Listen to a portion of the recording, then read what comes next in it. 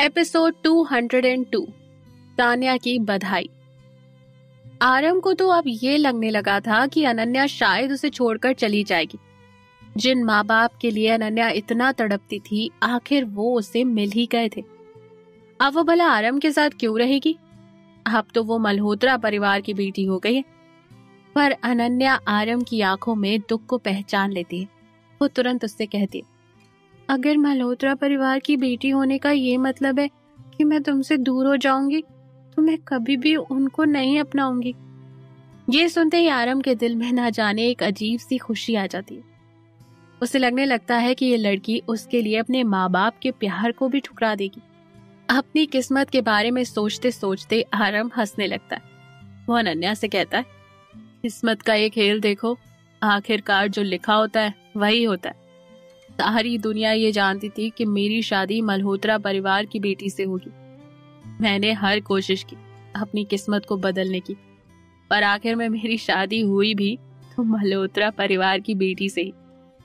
अनन्या नहीं चाहती थी कि आरंभ उसकी वजह से दुखी हो जाए। वो अपना सब कुछ छोड़ सकती थी, ताकि आरंभ खुश रह सके। अनन्या आरंभ से कहती, मैंने तुमसे कहा ना, मैं तुम्हारे लिए मल्होत्रा परिवार को भी छोड़ दूँगी। तुम्हारा साथ पाने के लिए मैं कुछ भी त्याग कर सकती हूँ। मुझे उनकी बेटी बनने से ज़्यादा तुम्हारी बीवी बनना पसंद है। ये सुनते ही आरम का दिल भर आया उसने तुरंत अनन्या को ज़ोर से गले लगा लिया। उसे तो यकीन नहीं हो रहा था कि अनन्या अपना सब कुछ उसके ऊपर कुर्बान कर सकती है। उसने एक पल के लिए सोचा, अगर उसकी वजह से अनन्या अपने असली माँ बाप को एक्सेप्ट नहीं करती तो क्या ये बात उससे अच्छी लगेगी? क्या ये बात वो कभी अपने जहन से भुला सकता है कि उसकी वजह से अनन्या अपने माँ बाप से नहीं मिल पाई? दूसरे लोग भले ही अनन्या को उसके माँ बाप से मिलने की खुशी ना समझ पाए, पर आरम वो खुशी बहुत अच्छे से समझता था। आरम बड़े ही धीमी आवाज़ में अनन्या को समझाते हुए कहता है, अनन्या, मेरी बात ध्यान से सुनो। मल्होत्रा परिवार इतना भी बुरा नहीं जितना मैं सोचता था। जयदेव मल्होत्रा अच्छा आदमी है। हाँ ये बात ज़रूर है कि रक्षा ने हमारे रिश्ते में कई बार बीच में आने की कोशिश की। ये सब भी उसने अनजाने में किया था। तुमने अभी देखा कि तुम उसकी असली बेटी हो तो उसकी आँखों में तुम्हारे लिए सिर्फ़ और सिर्फ़ प्यार था। तुम्हें आखिरकार अपने माँ बाप मिल ही गए। तुम्हें उनके साथ प्यार से शुरुआत करनी चाहिए और उनके साथ भी रहना चाहिए। बड़े भारी मन से आरम ने यह बात अनन्या से कही थी। वो चाहता तो नहीं था कि अनन्या उसे छोड़ कर जाए, पर वो ये बात जानता था कि सही बात यही होगी कि अनन्या अपने माँ बाप के साथ रहे। अनन्या ये सुनकर परेशान हो जाती। वो आरम की बात को इग्नोर नहीं कर सकती थी। वो जानती थी कि आरम जो कह रहा है, वो सही कह रहा है। उसे बस इस बात का डर था कि अगर वो मल्होत्रा परिवार में चली गई तो कहीं वो आरम से हमेशा के लिए बिछड़ ना जाए। अनन्या अपनी बाहें आरम के गर्दन के ऊपर रख देती और उससे प्यार से पूछती, आरम, अगर मैं मल्होत्रा परिवार चली गई तो क्या हम तब भी एक साथ हो सकते हमारे लिए समस्या और ना बढ़ जाए। मैं ऐसा नहीं चाहती। मैं सिर्फ़ और सिर्फ़ तुमसे प्यार करती हूँ और तुम्हारे बिना एक पल भी नहीं रह सकती। मैं अपनी सारी ज़िंदगी तुम्हारे साथ बिताना चाहती हूँ। मैं अभी तुम्हारे लिए हमारा बच्चा इस दुनिया में लाना चाहती हूँ। अनन्या की बात सुनकर आरम का दिल भारी हो जाता। शायद वो इतना भावुक अपनी ज़िंदगी में कभी नहीं हुआ था, जितना वो आज हो रहा था। आरम बड़े दुख के साथ कहता, अगर रमेश को पता चल गया कि तुम उसकी मंगेतर हो तो मुझे डर है कि कहीं आरम पूरी बात भी नहीं बोल पाता और उसका सर नीचे झुक जाता है। अनन्या ने पहली बार आरम को इतना कमज़ोर देखा था। ये देख कर तो अनन्या आरम को और कसकर पकड़ लेती। वो आरम से कहती, नहीं नहीं, मुझे कोई फ़र्क नहीं पड़ता कि रमेश को पता चले या नहीं। मैं तुम्हें छोड़कर नहीं जाऊँगी। आरम देखता है कि अनन्या उससे बहुत ज़्यादा प्यार करने लगी। वो प्यार से उससे कहता है तो ठीक है, अगर तुम मुझे छोड़कर नहीं जाओगी तो मैं भी तुम्हें कभी नहीं छोड़ूँगा। अनन्या प्यार से आरम से पूछती, क्या तुम मेरे साथ इसलिए रहना चाहती हो? क्योंकि तुम मुझे छोड़ नहीं सकते। क्या तुम्हें मेरी आदत लग गई है। अनन्या जानना चाहती थी कि आरंभ उसके बारे में क्या सोचता है और वो उससे कितना प्यार करता है। आरम तुरंत उसका हाथ पकड़ के उससे कहता है, बिल्कुल नहीं। मैं तुम्हें इसलिए नहीं छोड़ना चाहता क्योंकि मैं तुमसे बे इंतहा प्यार करता हूँ। मैं तुम्हारे लिए लड़ता रहूँगा। मैं तुम्हें कभी छोड़कर नहीं जाऊँगा। आरम की ये बात सुनकर अनन्या का दिल पिघल जाता है। आरम नीचे झुक जाता है और उसके पैर की तरफ़ देखकर बोलता है, मुझे तुम्हारे पैर देखने दो। क्या तुम्हें ज़्यादा चोट लगी थी? आरम अनन्या के पैरों को देखने लगता है। उसे चिंता थी कि कहीं अनन्या को गहरी चोट ना आई हो। अनन्या उसे मना करती और कहती, तुम्हें देखने की ज़रूरत नहीं है। अब वो काफ़ी ठीक हो गई है। आरम ने उसकी बात नहीं सुनी।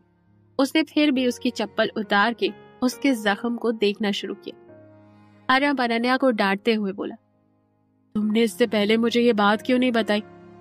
आरम को ये बात बिल्कुल भी समझ नहीं आई थी कि अनन्या ने ये बात उससे क्यों छुपाई। वो अनन्या को डांटते हुए कहता बताओ, इस बात को कितना समय हो गया? तुम्हें मुझे इसके बारे में पहले ही बता देना चाहिए था।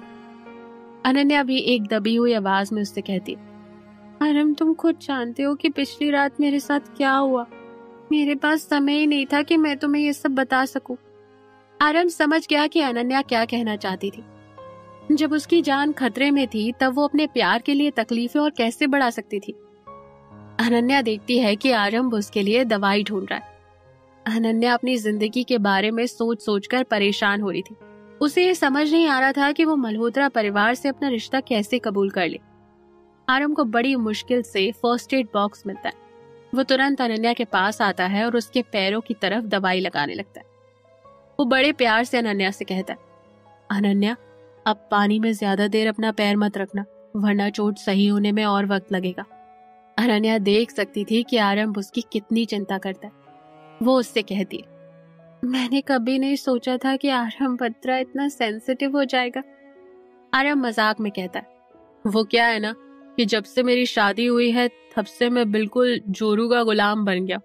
जैसा मेरी बीवी चाहती है, मैं बिल्कुल वैसा ही बनता जा रहा हूँ। ये सुनकर तो अनन्या भी हंसने लगती। अनन्या आराम से कहती, वैसे तुम चिंता मत करो, मैं इतनी जल्दी तुम्हारी ज़िंदगी से जाने वाली नहीं हूँ। मैं हमेशा तुम्हारे पास रहूँगी। आरम को अब यकीन होता जा रहा था कि अनन्या उससे बहुत प्यार करने लगी। उनके प्यार के लम्हों की शुरुआत होती जा रही थी। एक तरफ़ जहाँ अनन्या आरम के साथ बहुत खुश थे तो दूसरी तरफ़ तानिया बहुत परेशान थी। तानिया बड़ी तेज़ी से गाड़ी चलाते हुए बाहर जा रही थी। उसे अभी भी इस बात पर यकीन नहीं था कि अनन्या उसकी बहन है। रास्ते में जाते जाते सामने से ट्रक आ जाता है। एन मौके पर तान्या अपनी गाड़ी घुमा लेती है और उसकी जान बच जाती है। जैसे ही तान्या घर पहुँचती है तो देखती है कि उसके पिता एक मीटिंग कर रहे हैं। मीटिंग में उसे पता चलता है कि शहर की 40 परसेंट ज़मीन तो सिर्फ़ आहरम के नाम ही बाकी 35 परसेंट रमेश के नाम की। इसलिए वो लोग इन दोनों को बिल्कुल भी टारगेट नहीं करेंगे। तानिया सोचने लगी कि बत्रा परिवार के पास सचमुच बहुत पैसा और रुतबा है। तानिया भी हमेशा खुद को रौबदार और मालदार बनाना चाहती थी। वो अपने मन में कहती है आरम बत्रा, अगर अनन्या सचमुच मेरी बहन है तब तो तुमने बहुत बुरा किया। वो अनन्या देखती रह जाएगी कि उसके पति और मेरे बीच में क्या क्या होता है। अनन्या को अपनी बहन मानना तानिया के लिए नामुमकिन था। वो कभी नहीं चाहती थी कि अनन्या जैसी लड़की उसके परिवार में कदम भी रखे। वो खुद से बोलती है, अनन्या, मैंने कभी नहीं सोचा था कि असल में तुम ही मेरी बहन निकलोगी। मैंने तो रमेश से बस ऐसे ही झूठ बोल दिया था, ताकि वो मेरी मदद कर सके। मुझे नहीं पता था कि मेरा झूठ असलियत बन जाएगा।